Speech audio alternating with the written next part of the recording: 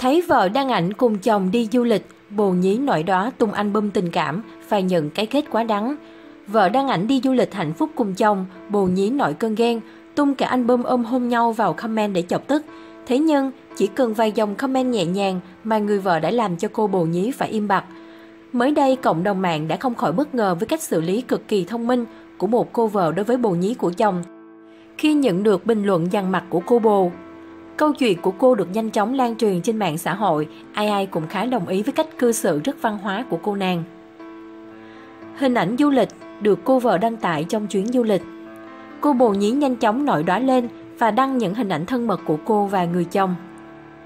Việc này bắt nguồn từ khi người vợ đăng ảnh đang du lịch cùng chồng lên trang cá nhân. Đột nhiên trong phần bình luận của bài viết xuất hiện một ảnh chụp màn hình đầy những cảnh thân mật giữa chồng cô và cô gái để lại bình luận. Không tỏ ra quá nóng giận, không đánh ghen hay những hành động thô bạo, cô vợ chỉ nhẹ nhàng trả lời, đẹp đôi nhỉ còn không, đăng hết lên cho mọi người cùng xem. Thế là sau đó những chị em phụ nữ liên tục công kích cô bồ nhí, khiến cô nàng hiện phải khóa tài khoản để tránh những ồn ào.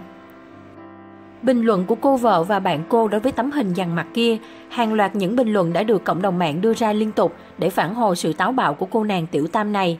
Họ đều cảm thấy ngạc nhiên với độ chai mặt của cô gái này khi cô là người đang phá vỡ hạnh phúc của người khác mà vẫn tỏ ra mình là người đáng thương. Điều đáng khâm phục ở cô vợ qua câu chuyện này là cách ứng xử vô cùng bình tĩnh của cô. Thay vì phải đánh ghen như những cô vợ khác, thì cô chỉ dùng những từ ngữ nhẹ nhàng mà vẫn khiến cho cô gái này phải tự xấu hổ. Đó là cách xử lý vô cùng văn hóa mà các cô nàng rất nên học hỏi khi gặp tình trạng tương tự. Câu chuyện người thứ ba là câu chuyện khá phổ biến. Đối với một số người đàn ông, hạnh phúc hiện tại dường như là chưa đủ, họ luôn tìm đến những thú vui mới. Bỏ đi người nguyện nâng khăn sửa túi cho mình suốt đời, là một người đàn ông khi đã yêu một người thì phải luôn chung thủy biết yêu thương họ.